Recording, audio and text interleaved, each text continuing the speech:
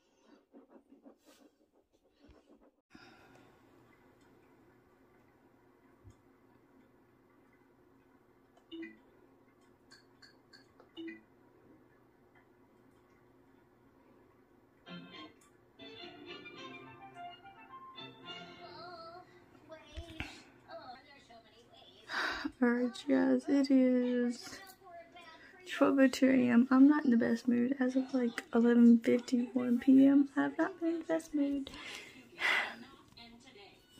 So, for about 11 minutes, I've not been in a good mood. I had to keep it 7.45 in the morning. That's not why I'm not in a good mood. It's just things happen and my mood just changes fast. But, um... yeah, I'm getting up in the morning. Grandma's gonna pick me up around like 9-ish. So I can go to the doctor. All I did was ask mom if she was going with us in the morning or what because she was going back and forth. She won't, and she was, and she won't, and she was, and she won't. And I asked her again before we came to bed. She's like, yeah, I guess I'll go. So I'm like, whatever. So she's mad about that, and Charlie got into it, and like,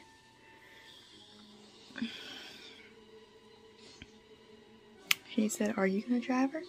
Well, number one, if you know me, I can't drive.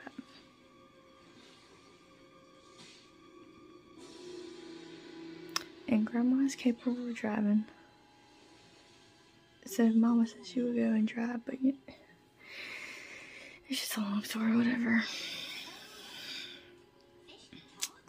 But yeah, I need to be going to bed since Saturday. I think it's 7.45, I'm not really that tired, so...